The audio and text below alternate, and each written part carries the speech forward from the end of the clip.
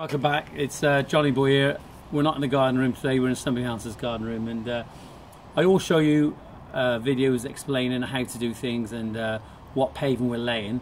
But I never really show you what paving we actually take take up, and I wanted to show you that. And uh, before we do that, have a quick look at the garden. As you can see, it's quite a nice garden. That's the sunny part of the garden. They still opted for the patio in the shade, so they're not necessarily sun lovers. So we're going to be doing a patio here. Turn, if you turn over here, Josh, able to have a look over here. Oh yeah, quick, come have a look at this. This is what I want to show you. This is brilliant. Great customers here, really nice people, and we've worked for them before. And uh, if you look here, they've got um, directions of and instructions of where we've got to, because um, they weren't here this morning, and uh, they've given us instructions in different areas right through the paving. So very thoughtful and uh, helps a lot as well.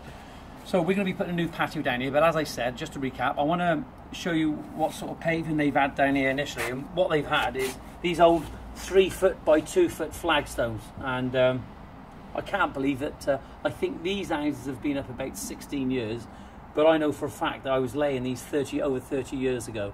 And um, they're not nice and uh, they don't look nice.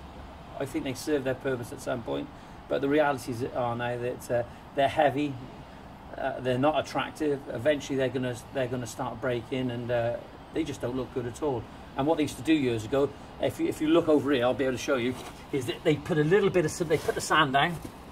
Obviously, they should have a sub base down here. They put the sand down, and they they sprinkle a little bit of cement on the top, and then they may rake it in, or they uh, you know I you know everybody has different methods, but that's what they used to do. And as you can see, it's not a very good bed and uh, eventually the water's going to get in there and all sorts of things and we've got root systems coming up from the trees as well. You can see the roots through here as well. It's going to push it up. And the reason the roots are in here because if it was a solid bed of mortar it wouldn't push through. And um, so we're going to have to do something about this tree stump over here.